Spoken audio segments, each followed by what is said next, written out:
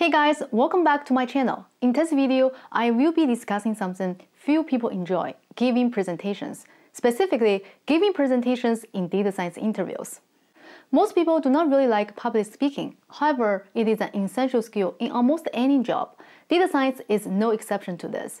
As a data scientist, you will have to present your ideas and findings to stakeholders, which is why many companies require candidates to give presentations when interviewing for a data scientist position. Typically, it ranges from 45 minutes to 1 hour, with the majority of the time on presentation and the last 10 to 15 minutes on Q&A. Presentations can be nerve-wracking, but they are a vital part of proving that you are a capable data scientist. Data scientists have to be sailors that can drive conversations to convince stakeholders to buy into their suggestions and ideas. The presentation part of an interview is where you demonstrate your ability to be a driver and not just a supporter. It is crucial if you want to land a position, especially a senior position. But how do you make the most of it? In this video, I will go over 5 tips for giving presentations in interviews. If you want to deliver a killer presentation, you need to know what information to include, what details to highlight, and how to carry yourself to make the best impression with the interviewer. This video will be covering all that and a bit more, so let's get started. My first tip is to focus on your impact. Projects are usually a team effort involving more than just data scientists. It takes a lot of collaboration and teamwork to successfully complete a project. Despite this reality, this is not what interviewers tend to care about when you present a project. They are interested in you, not the rest of the team. Therefore, you want to focus on your role and impact. To convey your impact clearly, you should describe it in measurable terms. Use metrics and numbers to explain your achievements on the project. The best metrics are those that show the effect you had on the business. This includes things like increasing revenue, customer acquisition, customer retention, etc. If you know what impact your work had on a business metric, this is an ideal way to illustrate your impact in a presentation. For example, you might say that you can increase any revenue by 10%, or that on a six month project, you improve customer retention by 20%. Specific metrics with specific numbers are the best way to show your impact. However, sometimes connecting your work to a direct impact on the business is very difficult. It may be that the scope of the project was not large enough or that the project is only indirectly affecting a business metric. If this is the case, you still want to describe your impact using metrics that the interviewer can easily understand.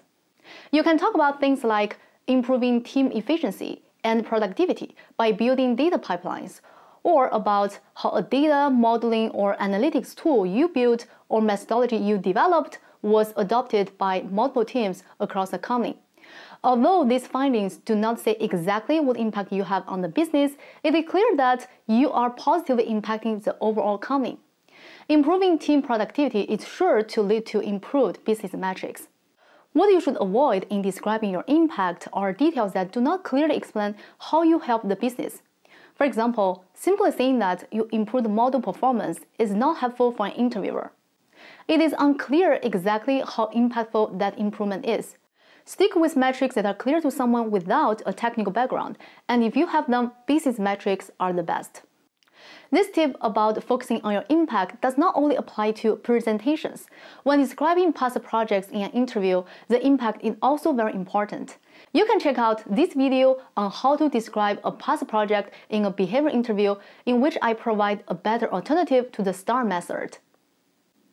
My next tip is to use your best stuff. This tip might seem painfully obvious at first. Of course, you want to present your best project. However, what exactly do we mean by best? It can be tempting to present a project that you feel was the most successful. But your most successful project is often also an easy project. When I say present your best stuff, I'm more so referring to the best stuff about you rather than the most successful project. Talking about a project with challenges give you far more opportunities to display your skill, thoughtfulness, and uniqueness as a candidate. Challenging projects also tend to be more interesting, so it's much easier to capture the interviewer's attention. How do you decide which project has challenges you can talk about? Here are some examples of challenges that might make a project more interesting and effective to present. There are both technical and non-technical challenges. Some technical challenges would be problems defining success metrics, difficulty obtaining data, a large dataset that was hard to work with, low quality data, difficulty processing the data, and issues with model training and deployment. Some non-technical challenges would be other people initially did not like your idea, strict deadlines, resource constraints, and your team hit a block during the project. These are just some examples of things that might have created obstacles or been an issue with the project. Talking about things like these challenges gives you a chance to show a wide range of capability and again keeps your presentation far more engaging. Challenges are not the only thing that makes a project your best.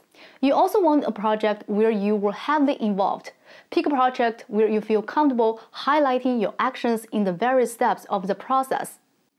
Explain things like the project design and implementation feasibility to demonstrate that you understand your job and its implications. This shows that you can drive projects because you understand how the entire thing works. So when you pick a project to present, choose one that captures you at your best. This often means choosing to talk about a project that has some problems and obstacles. This idea leads us to the third tip, list the limitations of the project. Listing the limitations of a project typically requires a conscious effort on your part, because most of us want to do the exact opposite when giving a presentation. It's tempting to skip or skim over the issues and limitations that arose during a project. However, the limitations you face on a particular project are not something that you want to bypass in a presentation, specifically when discussing data quality and technical feasibility. But why? It may seem like talking about things that went wrong can hurt you. The fact is that simply knowing how to use specific techniques, such as a machine learning model, is not enough. Anyone can learn to do that. To impress your audiences, you need to demonstrate a knowledge of the method's advantages and limitations in your application. Show awareness about what was not ideal in your situation. For example, you may have faced a limitation with data. Perhaps there were problems with data collection, and your team did not have enough data to do analysis or modeling. To overcome this limitation, you may have had to do some research to find an external data source, or you have proposed and implemented a creative way to leverage existing data.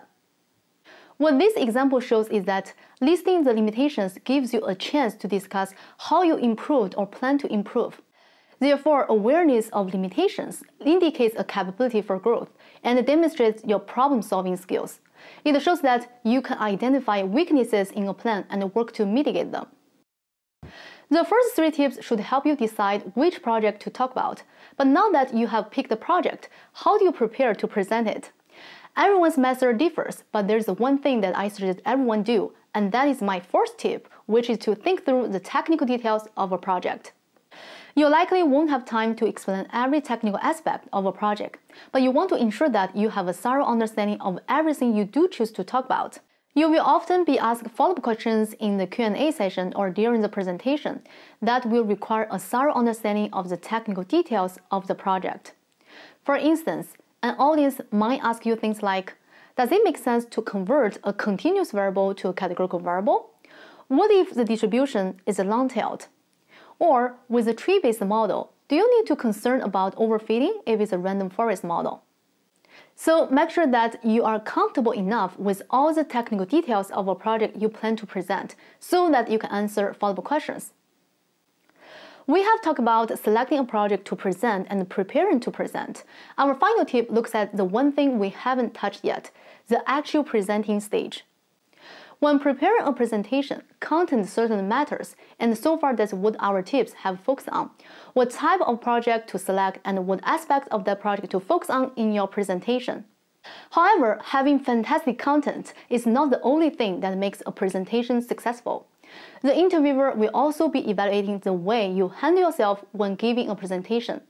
Your behavior matters and is one of the things that will be evaluated during a presentation.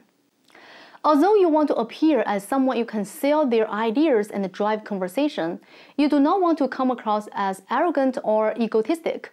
Part of being a good presenter is demonstrating that you are a good listener. No one wants to work with a coworker who refuses to listen to others and consider different perspectives.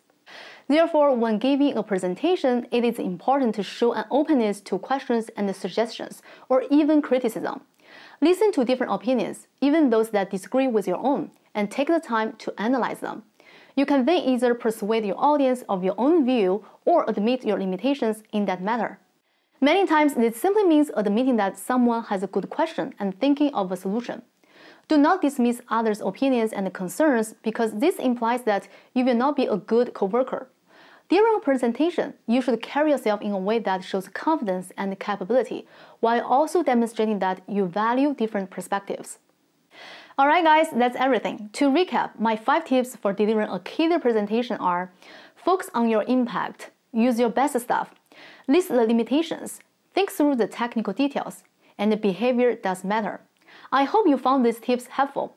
All of these tips are oriented around one major idea. A presentation in an interview is less about presenting a project and more about presenting yourself as a data scientist. When preparing and delivering your presentation, your focus should be on demonstrating that you are a capable data scientist. This means your presentation should go beyond simply explaining the bare facts of the project. You want to demonstrate your impact, your ability to problem solve, your technical skills and knowledge, and your ability to behave professionally and drive the conversation. Thanks again for watching. If you like this video, make sure to subscribe to this channel to get updates about future content. I will see you soon.